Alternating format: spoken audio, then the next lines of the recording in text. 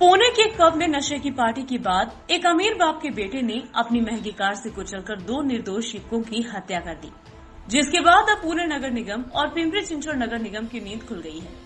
पुणे नगर निगम के बाद पिंपरी चिंचोड़ नगर निगम ने भी पिंपरी चिंचोड़ शहर में अनाधिकृत बार और पब पर कार्रवाई शुरू कर दी है।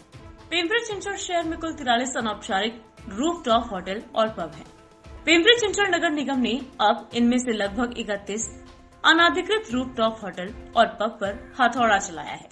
पिंपरी चिंचोड़ शहर में अभी भी लगभग 12 अनौपचारिक रूफ टॉप होटल और पब हैं, लेकिन अब तक ये अनाधिकारिक होटल और पब किसी की आशीर्वाद से चल रहे थे और इससे किसकी मुनाफाखोरी चल रही थी। इस समय पिंपरी चिंचोड़ शहर में इसकी चर्चा हो रही है। Bureau report V news Pune Maharashtra.